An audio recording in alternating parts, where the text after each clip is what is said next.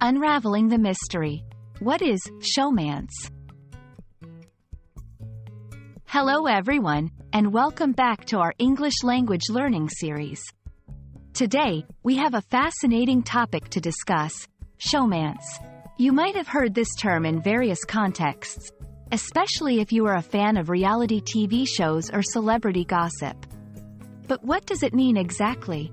Let's dive in and find out. Showmance is a portmanteau, which is a word created by blending two different words together. In this case, showmance is a combination of show and romance. Show. This refers to a television show, a movie, or a stage production. Romance. This is a term that describes a love affair or a loving relationship between two people. So when you combine them, a showmance implies a romantic relationship that takes place within the context of a show. One of the interesting aspects of a showmance is that it can be real or fabricated. Real showmance. This happens when two co-stars genuinely develop romantic feelings for each other while working together.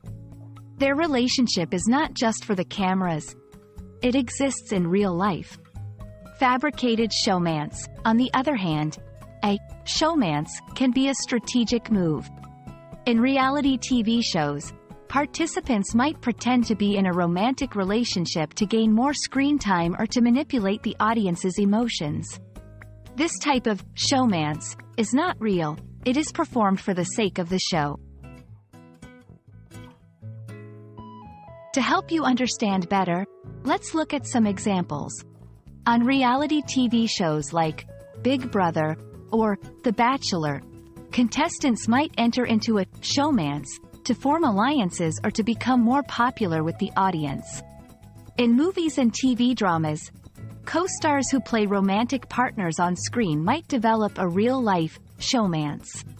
However, it's important to note that not all co-stars who play love interests end up in a showmance. So there you have it, the intriguing world of showmance, unraveled. Whether real or fabricated, showmances are a fascinating part of the entertainment industry. We hope this video has been informative and has helped you understand this unique term. Don't forget to practice using showmance in sentences to fully grasp its meaning. Until next time, happy learning and see you in the next video.